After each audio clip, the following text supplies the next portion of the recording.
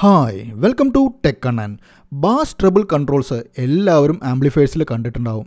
പക്ഷേ പലരും ഇപ്പോൾ പറയും ബാസ് ട്രബിൾ കൺട്രോൾസിന്റെ ആവശ്യമില്ല ടോൺ കൺട്രോൾസിന്റെ ആവശ്യമില്ല ഇതൊക്കെ ഫ്ലാറ്റ് സൗണ്ടാണ് നല്ലത് എന്നൊക്കെ ആൾക്കാർ പറയും. അപ്പോൾ എന്തിനാണ് ബാസ് ട്രബിൾ കൺട്രോൾസ് എന്താണ് അതിന്റെ യൂസേജ് അതിപ്പോൾ ആവശ്യമാണോ അല്ലയോ എന്നുള്ളതൊക്കെയാണ് നമ്മൾ ഇന്നത്തെ വീഡിയോയിൽ കാണാൻ പോകുന്നത്. അപ്പോൾ നിങ്ങൾ ഈ ചാനൽ സബ്സ്ക്രൈബ് ചെയ്തിട്ടില്ലെങ്കിൽ ഈ ചാനൽ സബ്സ്ക്രൈബ് ചെയ്യുന്ന കാര്യം ഒന്ന് കൺസിഡർ ചെയ്യുക. നിങ്ങൾക്ക് വീഡിയോസ് ഇഷ്ടമാവുന്നുണ്ടെങ്കിൽ മാത്രം നമുക്കിനി വീഡിയോയിലേക്ക് കിടക്കാം. അപ്പോൾ എന്താണ് ബാസ് ട്രബിൾ കൺട്രോൾസ് അല്ലെങ്കിൽ ടോൺ കൺട്രോൾസ്? ടോൺ കൺട്രോൾസ് എന്ന് പറയുമ്പോൾ അതിന് മെയിൻലി വരുന്നത് ബേസും ട്രിബിളുമാണ് ഒരുവിധം എല്ലാത്തിലും വരുന്നത് ബാസ് ട്രബിൾ. പിന്നെ ചിലതിലൊരു മിഡ് റേഞ്ചിന്റെ ഒരു ഓപ്ഷൻ കൂടി ഉണ്ടാവും. നമുക്ക് മിഡ് റേഞ്ച് കൺട്രോൾ ചെയ്യാനുള്ള ഒരു ഓപ്ഷൻ കൂടി ടോൺ കൺട്രോൾസിലുണ്ടാവും അപ്പോൾ നമ്മൾ നമ്മൾ മെയിൻലി ഇന്നത്തെ വീഡിയോയിൽ ബാസ് ട്രബിൾ കൺട്രോൾസിനെ പറ്റിയാണ് നോക്കുന്നത്. പണ്ട് കാലത്ത് ഇറങ്ങിയിരുന്ന സ്പീക്കറിൽ വളരെ വർഷങ്ങൾക്ക് മുമ്പ് ഇറങ്ങിയിരുന്ന സ്പീക്കേഴ്സിൽ അതിന്റെ ഒരു ലിമിറ്റേഷൻ എന്തായിരുന്നു പറഞ്ഞാൽ ഇന്നത്തെ പോലത്തെ മോഡേൺ ആയിട്ടുള്ള ടെക്നോളജി ഒന്നും ഉണ്ടായിരുന്നില്ല. പഴയ ടൈപ്പ് സ്പീക്കേഴ്സ് ആയിരുന്നു അത്. ആ സ്പീക്കേഴ്സിൽ സൗണ്ട് ഫ്രീക്വൻസി അതായത് twenty to twenty kilo hertz ഫ്രീക്വൻസിയുടെ മുകൾ ഭാഗവും താഴ്ഭാഗവും അതായത് ട്രിബിൾ റീജിയനും ബേസ് റീജിയനും ഈ രണ്ട് സംഭവങ്ങളും കറക്റ്റായിട്ട് അതിനെ റീപ്രൊഡ്യൂസ് ചെയ്യാനുള്ള കഴിവുണ്ടായിരുന്നില്ല അന്നത്തെ ടെക്നോളജി അനുസരിച്ചിട്ട്. അപ്പോൾ അതിന്റെ ബേസ് പെർഫോമൻസ് വളരെ മോശമായിരുന്നു ട്രിബിൾ പെർഫോമൻസ് വളരെ മോശമായിരുന്നു. അപ്പോൾ അന്നത്തെ കാലത്ത് ഡെവലപ്പ് ചെയ്തതാണ് ബാസ് ട്രിബിൾ കൺട്രോൾസ് ബിക്കോസ് പല പണ്ട് പലപ്പോഴും ഫുൾ റേഞ്ച് സ്പീക്കേഴ്സൊക്കെയാണ് അധികവും യൂസ് ചെയ്തിരുന്നത്. ഫുൾ റേഞ്ച് സ്പീക്കേഴ്സിൽ നമുക്ക് ആ മിഡ് റേഞ്ച് അതായത് ഒരു വൈഡ് ബാൻഡറാണ് അതിന് ടോപ്പ് എൻഡും ലോ എൻഡും അത്ര നന്നായിരിക്കില്ല. അതും പഴയ കാലത്ത് ഫുൾ റേഞ്ച് സ്പീക്കേഴ്സിൽ ലോ എൻഡ് ബേസ് ഒക്കെ വളരെ മോശമായിരുന്നു. അപ്പോൾ ഇങ്ങനെയുള്ള സ്പീക്കേഴ്സിനൊക്കെ വേണ്ടിയിട്ടാണ് ബാസ് ട്രബിൾ കൺട്രോൾസ് അതാ ടോൺ കൺട്രോൾസ് ഡെവലപ്പ് ചെയ്തത്. നല്ലൊരു സ്പീക്കർ ആണെങ്കിൽ അതിന്റെ ഫ്രീക്വൻസി ട്വന്റി ഹെഡ്സ് മുതൽ ട്വന്റി തൗസൻഡ് ഹെഡ്സ് വരെ നമുക്ക് ഓൾമോസ്റ്റ് ഈക്വൽ ആയിരിക്കണം. ഏകദേശം ഈക്വൽ ആയിട്ടുള്ള ഗ്രാഫ് ആണെങ്കിലാണ് നമുക്ക് നല്ലൊരു ബാലൻസ്ഡ് ആയിട്ടുള്ള ഒരു സൗണ്ട് കിട്ടുക. അതായത് സെയിം വോളിയം ഇരുപതിലോ ഇരുപത് ഹെഡ്സിലും സെയിം വോളിയം കിട്ടണം ഇരുപതിനായിരം ഹെഡ്സിലും സെയിം വോളിയം കിട്ടണം മിഡിലിൽ എല്ലായിടത്തും എടുത്താലും ഒരേ വോളിയത്തിൽ അത് റീപ്രൊഡക്ഷൻ അതായത് ഒരു പർട്ടിക്കുലർ സിഗ്നലിന് ഒരേപോലത്തെ ഒരു റീപ്രൊഡക്ഷൻ നൽകിയാലാണ് ഈ പച്ച ലൈൻ പോലെയുള്ള ഒരു ഗ്രാഫ് ആണെങ്കിലാണ് ഏറ്റവും നല്ല സ്പീക്കർ അതുപോലത്തെ ഒരു സ്പീക്കർ നമുക്ക് കിട്ടില്ല ഇപ്പോഴും പ്രാക്ടിക്കൽ അല്ല. എന്നാലും ഏകദേശം ഒരു ഫ്ലാറ്റ് ആയിട്ടുള്ള ഒരു ഗ്രാഫ് ആണെങ്കിലാണ് നമുക്ക് ഏറ്റവും നല്ല ബാലൻസ്ഡ് ആയിട്ടുള്ള സൗണ്ട് കിട്ടുക. പക്ഷെ പഴയ കാലത്തെ സ്പീക്കേഴ്സിൽ ഈ ടോപ്പ് ഈ ലോ എൻഡ് അതായത് ബേസിന്റെ റീജിയൻ അതുപോലെ തന്നെ ട്രിബലിന്റെ റീജിയൻ നന്നായിട്ട് കിട്ടിയിരുന്നില്ല. അപ്പോൾ നമ്മൾ എങ്ങനെയാണ് അതിനെ കുറച്ചുകൂടി നന്നായിട്ട് കേൾക്കാൻ അതായത് ബാലൻസ്ഡ് ആക്കുക? അപ്പോൾ നമുക്ക് ഇതിനെ പൊന്തിച്ചു കൊടുക്കേണ്ടി വരും. അതായത് ഈ ഒരു ഗ്രാഫ് സ്പീക്കറിന് ഇത്രേ റീപ്രൊഡക്ഷൻ റീപ്രൊഡക്ഷനുള്ള കഴിവുള്ളൂ. അപ്പോൾ എന്താ ചെയ്യാന്ന് പറഞ്ഞു കഴിഞ്ഞാൽ നമ്മുടെ സിഗ്നൽ നമ്മളുടെ ഇതിലേക്ക് വരുന്ന സിഗ്നലിനെ നമ്മൾ ബൂസ്റ്റ് ചെയ്യും.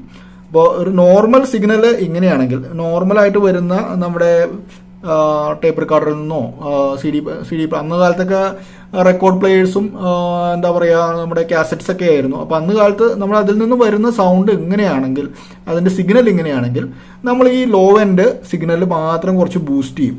അതായത് ഇരുപത് ഹെഡ്സ് മുതൽ ഒരു നൂറ് ഹെഡ്സ് വരെയോ അല്ലെങ്കിൽ എത്ര വരെയാണ് കൂട്ടണതെന്ന് വെച്ച് കഴിഞ്ഞാൽ അത്രയുമുള്ള ഹെഡ്സ് നമ്മൾ സിഗ്നൽ കൂട്ടും. അപ്പോൾ ഇങ്ങനെ സിഗ്നൽ കൂട്ടുമ്പോൾ അതും ഇതും കൂടി ബാലൻസ്ഡ് ആവും. അങ്ങനെ ബാലൻസ്ഡ് ആയിട്ട് നമുക്ക് ഏകദേശം ഒരു ബാലൻസ്ഡ് സൗണ്ട് കിട്ടും.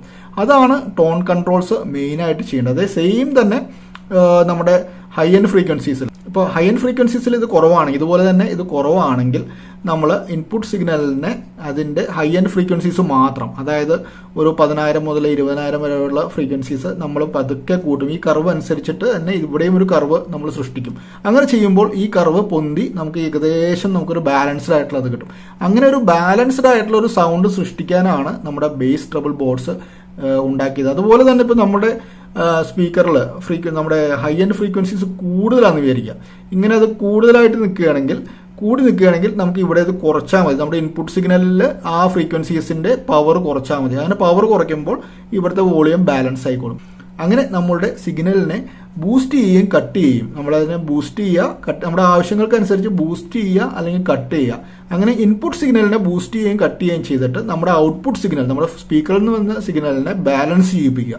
അല്ലെങ്കിൽ അല്പം കൂട്ടുകയോ കുറയ്ക്കുകയൊക്കെ ചെയ്യുക. അതിന് വേണ്ടിയിട്ടുള്ളതാണ് നമ്മളുടെ ബേസ് ട്രബിൾ ബോർഡ്സ് അപ്പോൾ അത് ഒരു ബൂസ്റ്റിംഗ് ആൻഡ് കട്ടിംഗ് സർക്യൂട്ടാണ് അതായത് നമ്മുടെ ഓഡിയോ ഫ്രീക്വൻസി അതായത് ട്വന്റി ടു ട്വന്റി തൗസൻഡ് ഹേർട്സിലെ ഓഡിയോ ഫ്രീക്വൻസിയുടെ ടോപ്പ് എൻഡും ബോട്ടം എൻഡും നിങ്ങൾക്കിവിടെ കാണാം ഇതിന്റെ ബോട്ടം എൻഡ് ബേസ് റീജിയൻ അതായത് ഒരു ഹൺഡ്രഡ് മുതൽ ട്വന്റി വരെയുള്ളതും മുകളിലേക്ക് ഒരു ഫൈവ് തൗസൻഡ് മുതൽ അല്ലെങ്കിൽ ഒരു ടു തൗസൻഡ് മുതൽ ട്വന്റി തൗസൻഡ് വരെയുള്ളതും. അപ്പോൾ അതിൽ ബൂസ്റ്റിങ്ങും കട്ടും അതുപോലെ തന്നെ നമ്മുടെ റൂം റൂമിന്റെ റൂം കാരണവും നമ്മുടെ നമ്മുടെ റൂമിലുള്ള റിഫ്ലക്ഷൻസും ക്യാൻസലേഷൻസൊക്കെ കാരണം നമുക്ക് ബാസും ട്രബിളും കൂടുകയും കുറയുകയൊക്കെ ചെയ്യാം. അപ്പോൾ അതും കൺട്രോൾ ചെയ്യാൻ നമുക്ക് ഇതിൽ പറ്റും. അപ്പോൾ ഇതാണ് ഇതിന്റെ മെയിൻ ഫങ്ഷൻ. ബേസും ട്രബിളും ഹൈ ഫ്രീക്വൻസീസും ലോ ഫ്രീക്വൻസീസും ബൂസ്റ്റ് ചെയ്യുക കട്ട് ചെയ്യുക. ഇതാണ് ഇതിന്റെ മെയിൻ ഫങ്ഷൻ വരുന്നത്. ഇന്നത്തെ കാലത്ത് ഇതിന്റെ ഒരു ആവശ്യമില്ല. ബിക്കോസ് ഇന്നത്തെ കാലത്ത് സ്പീക്കേഴ്സ് നല്ല വൈഡ് റേഞ്ച് റീപ്രൊഡക്ഷൻ നടത്തുന്നതാണ്. ബേസ് നന്നായിട്ട് റീപ്രൊഡ്യൂസ് ചെയ്യും ട്രിബിൾ നന്നായിട്ട് റീപ്രൊഡ്യൂസ് ചെയ്യും. അതുകൊണ്ട് തന്നെ സിഗ്നലിൽ ആൾട്രേഷന്റെ ആവശ്യമില്ല. പ്രോപ്പർലി ഡിസൈൻഡ് ആയിട്ടുള്ള ഒരു സ്പീക്കർ ആണെങ്കിൽ നമുക്ക് അതുകൊണ്ട് തന്നെ ഇന്നത്തെ നമുക്ക് ഹൈ എൻഡ് ആയിട്ട് കിട്ടുന്ന എല്ലാ ആംപ്ലിഫയേഴ്സിലും പ്രീ ആംബിളും നമുക്ക് ബാസ് ട്രബിൾ കൺട്രോൾസ് കാണാൻ പറ്റില്ല. ഇന്നത്തെ ആംപ്ലിഫയേഴ്സിലൊന്നും അത് വരുന്നില്ല.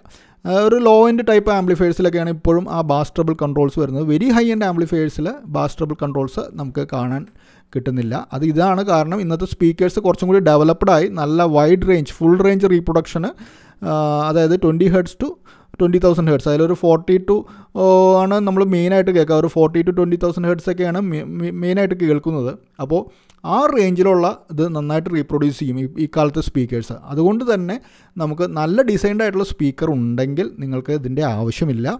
അപ്പോൾ പിന്നെ എന്തിനാണ് മാസ്റ്ററബിൾ ബോർഡ്സ് ഇപ്പോഴും വരുന്നത്? എന്താണെന്ന് വെച്ച് കഴിഞ്ഞാൽ നമ്മുടെ നാട്ടിലൊക്കെ ഇപ്പോഴും സ്പീക്കേഴ്സ് ഉണ്ടാക്കുന്നത് നമുക്ക് എവിടെന്നെങ്കിലും കിട്ടുന്ന മീൻസ് യാതൊരു ഡിസൈനിങ്ങും ഇല്ലാതെ നമ്മളൊരു കോമൺ ആയിട്ടൊരു സ്പീക്കർ തിരഞ്ഞെടുക്കും കിട്ടുന്ന വൂഫർ തിരഞ്ഞെടുക്കും അതുപോലെ തന്നെ ഒരു ട്വീറ്റർ തിരഞ്ഞെടുക്കും. ഇവ തമ്മിൽ ഒരു കോമൺ ആയിട്ട് കിട്ടുന്ന ഒരു ക്രോസ് ഓവർ വെച്ചിട്ട് നമ്മൾ ചെയ്യുകയാണ്. അപ്പോൾ ഇങ്ങനെ ഇങ്ങനെ ചെയ്യുമ്പോൾ ഒരിക്കലും ഈ രണ്ട് സ്പീക്കറും തമ്മിലൊരു ബാലൻസിങ് കിട്ടില്ല സൗണ്ടിന്റെ അപ്പോൾ അങ്ങനെ കിട്ടാണ്ട് വരുമ്പോൾ ചിലപ്പോൾ ബാസ് കുറഞ്ഞിരിക്കും ചിലപ്പോൾ ട്രിബിൾ കൂടിയിരിക്കും.